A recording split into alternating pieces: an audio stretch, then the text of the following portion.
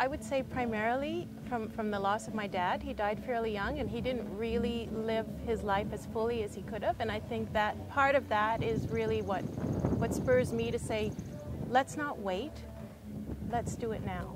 Because you never know 10 years from now, 20 years from now, what's down the line. So let's live our life as fully as we can now. And Brent is, he's, he's coming along. Spontaneity. I'm more methodical. Yeah. so I, I, I, like to take a step back before jumping into things.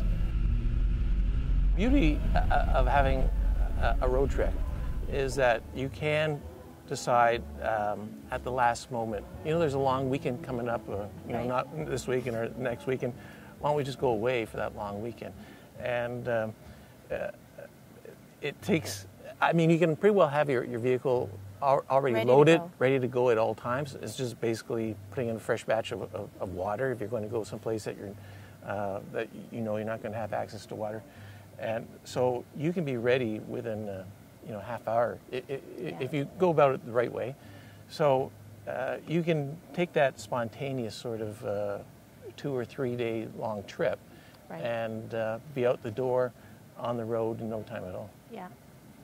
Um, and I think it appeals to people, if people have that sense of adventure and, and wanderlust and they like to see new places, this is really, I would really recommend this kind of, of lifestyle.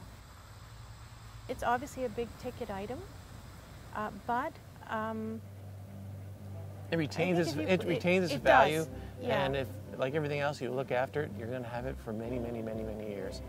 That, that's absolutely right. And you just have to look around here to see how many people have had their Roadtreks for 20 or 10, 15, 20 years. And we, we're encouraged by that because it's not something that's going to lose its value. If you, if, you, if you buy one, it'll be there for a long time.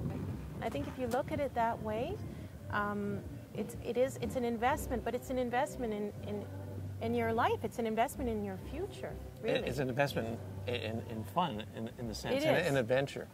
Yeah. Um, and we love to speak to people who've been Roadtreking for, for, you know, 15 or 20 years because they've got some great stories. They've had, you know, fantastic experiences and they're clearly, they love their, they love their vehicles. They love their Roadtreks.